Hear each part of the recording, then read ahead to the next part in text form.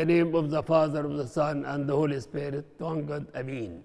Thanks God because He has given us a new year and given us this year should be better than all the past years.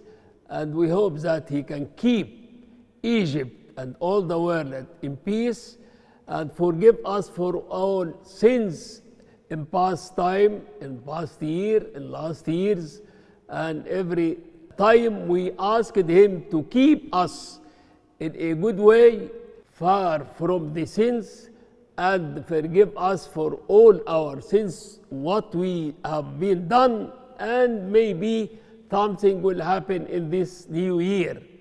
And ask Him to give us the fruits, good fruits, in the new year to keep us in happiness and in peace and in everything can give us a new way in the new life in the new year because we ask him always to give us the opportunity to uh, love each other and to try to keep us in peace and all the world in peace. And also uh, far from the viruses and far from the economic life because sometimes if the economic life have failed for the people maybe something sins will be happen because the uh, poor or poorest way or uh, people cannot have them enough food or enough life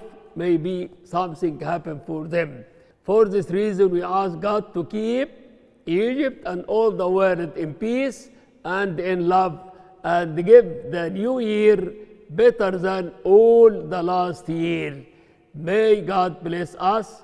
We ask Saint Mary to always pray for us and give the opportunity to be better than all the other years.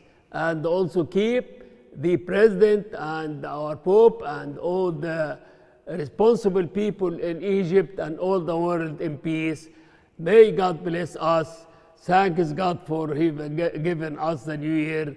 In the name of the Father, of the Son, and the Holy Spirit. One God. Amen. Thank you.